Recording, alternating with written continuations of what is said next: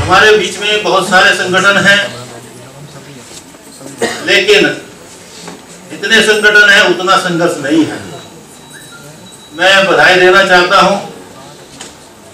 साथ ही अशोक भारती जी को, जिन्होंने हर तरह की राजनीति को छोड़कर, हर तरह की राजनीति को भूलकर सबको इकट्ठा करने का काम किया।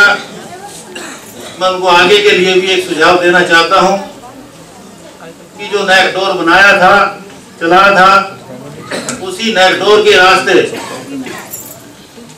सारे देश के अंदर जो दलित आदिवासियों के संगठन हैं, उनको उसमें जोड़े और जोड़ करके एक बड़ा संघर्ष, बड़ा आंदोलन तैयार करने का काम करें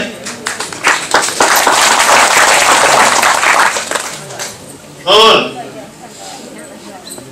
कुछ लोगों ने, कुछ साथियों ने जो राजनीतिक सुझाव दिए हैं, मैं तो यही कहूँगा कि राजनीति के चक्कर में अगर पड़ गए तो आप सामाजिक आंदोलन नहीं कर सकते।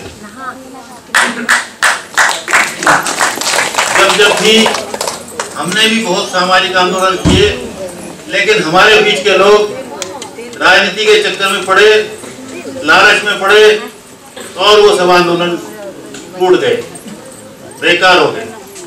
तो इसलिए अगर सामाजिक आंदोलन चलाना है तो राजनीति का लालच बिल्कुल ना करें।